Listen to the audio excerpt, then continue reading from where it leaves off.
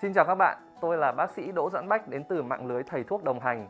Nếu bạn là người nhiễm COVID-19, đối tượng F0 có chỉ định theo dõi và điều trị tại cơ sở y tế tuyến ban đầu. Sau đây là 10 lưu ý bạn cần biết. Một, Trước khi đi nên mang theo các vật dụng cá nhân cần thiết. Hãy nhớ chấp hành việc cách ly y tế và hướng dẫn điều trị theo quy định của cơ sở y tế điều trị ban đầu và cam kết thực hiện các biện pháp cách ly an toàn. Thứ hai, thực hiện các biện pháp vệ sinh cá nhân, đeo khẩu trang thường xuyên, rửa tay thường xuyên bằng xà phòng và dung dịch sát khuẩn, không khạc nhổ bừa bãi, giữ vệ sinh các bề mặt xung quanh mình. 3. Bạn sẽ được đo thân nhiệt 2 lần một ngày, sáng và chiều và bản thân mình nên tự theo dõi sức khỏe hàng ngày.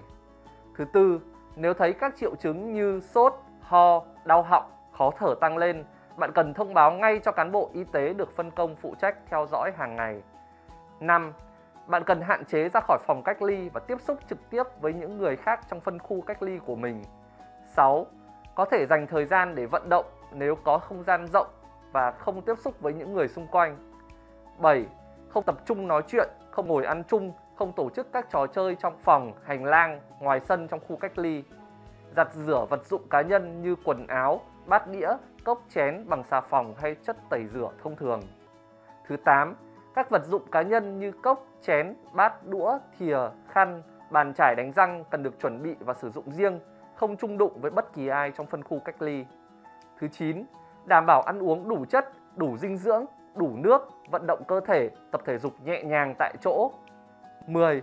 Thu gom riêng khẩu trang, khăn giấy lau mũi, miệng đã qua sử dụng trong thùng đựng chất thải lây nhiễm.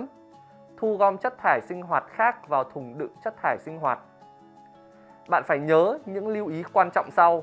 Nếu phát hiện có những triệu chứng nặng như sốt lớn hơn 39 độ, ho nhiều thành tràng dài, đau nặng ngực, khó thở, mệt mỏi nhiều, SPO2 tự đo đúng cách nhỏ hơn 95% thì bạn phải báo ngay cho nhân viên y tế.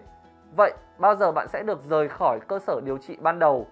Đối với bệnh nhân F0 thì sẽ được công bố khỏi bệnh khi đạt được 3 yếu tố sau. 1.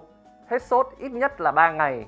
2 các triệu chứng lâm sàng cải thiện, toàn trạng tốt, các dấu hiệu sinh tồn ổn định, chức năng các cơ quan bình thường, xét nghiệm máu trở về bình thường, x-quang phổi cải thiện. 3. Bạn có 3 mẫu bệnh phẩm, các bệnh phẩm lấy ít nhất sau một ngày xét nghiệm âm tính với SARS-CoV-2 bằng phương pháp real-time PCR. Sau khi xuất viện với F0, người bệnh vẫn cần phải tiếp tục theo dõi sức khỏe, tiếp tục cách ly phù hợp tại nhà dưới sự giám sát của y tế địa phương thêm 14 ngày nữa và theo dõi thân nhiệt hàng ngày. Nếu thân nhiệt cao hơn 38 độ C ở hai lần đo liên tiếp hoặc có các dấu hiệu bất thường khác thì bạn phải khám lại ngay hoặc báo cho nhân viên y tế địa phương. Xin cảm ơn.